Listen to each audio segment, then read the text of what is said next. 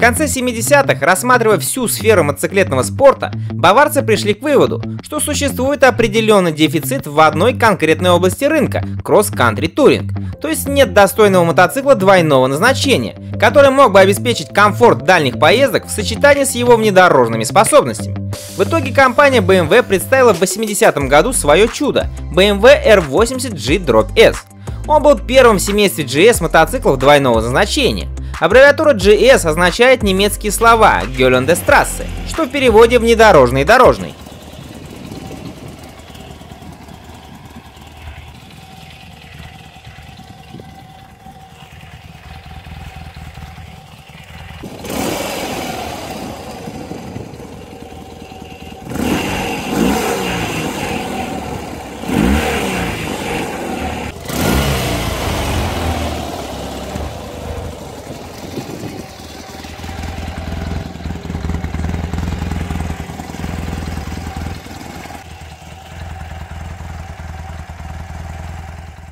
BMW R80 GS сходу завоевал себе репутацию одного из самых крупных и быстрых внедорожных мотоциклов, а владельцы прозвали его двухколесным Range Rover, и сравнение это вполне уместно.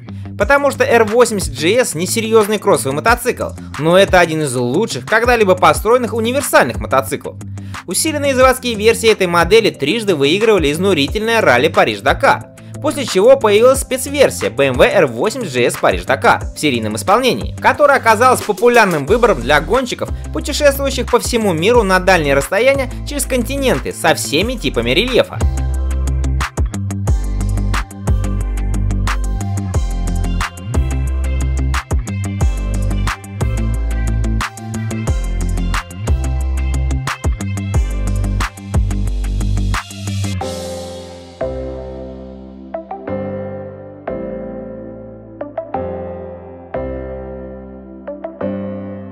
R80GS был оснащен 797-кубовым оппозитным двигателем, который крепился в раму от модели R65.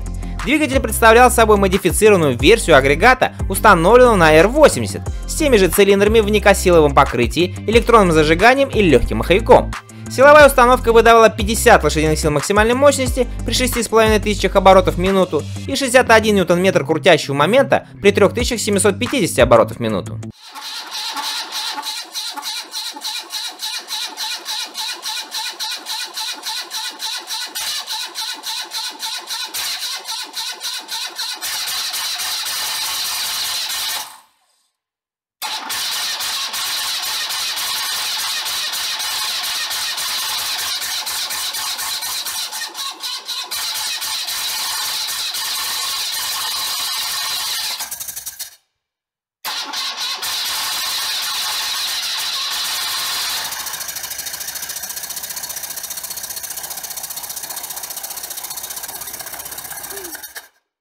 BMW R8 GS имел некоторые технические новшества на то время. Это новая задняя подвеска типа монолевер, односторонний маятник с моноамортизатором.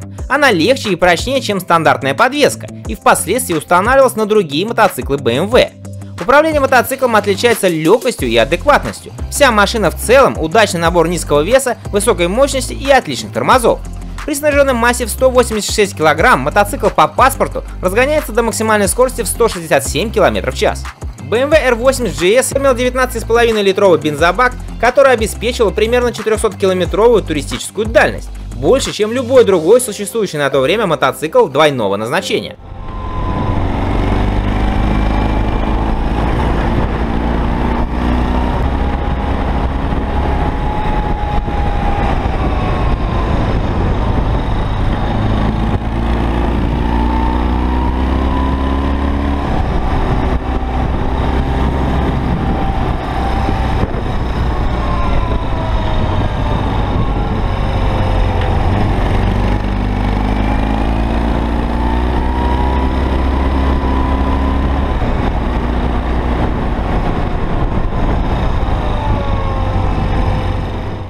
Как упоминалось выше, после побед в ралли Париж-Дакар в 1985 году баварцы выпустили для поклонников этого вида спорта спецверсию BMW R8 GS Париж-Дакар, которая имела небольшие отличия от стандартной версии, включая 32-литровый топливный бак, одиночное сиденье, багажник, нержавеющую выхлопную трубу, большую батарею и зубастую резину. Все это означало, что впервые настоящий туристический эндуро можно было приобрести непосредственно у производителя. За все время производства с 80 по 87 год было произведено почти 22 тысячи мотоциклов, после чего было представлено новое поколение.